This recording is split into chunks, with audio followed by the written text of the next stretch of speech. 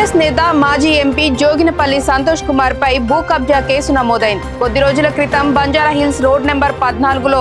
నవయుగ company పదమూడు వందల యాభై చదరపు గజాల స్థలాన్ని కొనుగోలు చేసింది ఆ స్థలాన్ని నకిలీ డాక్యుమెంట్లు సృష్టించి కబ్జా చేసేందుకు జోగినపల్లి సంతోష్ లింగారెడ్డి శ్రీధర్లు ప్రయత్నిస్తున్నారని నవయుగ కంపెనీ ప్రతినిధి చింత మాధవ్ ఆరోపించారు ఈ మేరకు బంజారా హిల్స్ పోలీసులకు ఫిర్యాదు చేశారు దీంతో జోగినపల్లి సంతోష్ శ్రీధర్లపై four hundred four seventy one four forty seven one twenty B read with thirty four IPC సెక్షన్ల కింద పోలీసులు కేసు నమోదు చేశారు